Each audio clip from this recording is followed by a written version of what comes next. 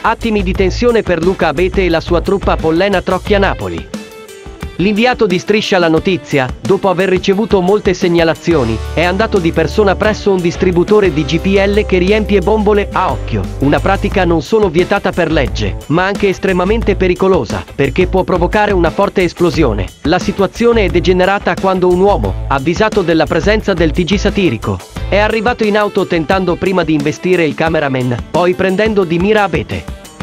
Insulti, spintoni e un microfono rotto, questo è il bilancio dell'aggressione, con l'inviato che ha dovuto dileguarsi per evitare il peggio. Le immagini saranno trasmesse nella puntata di Striscia la notizia di stasera, canale 5, ore 20 e 35.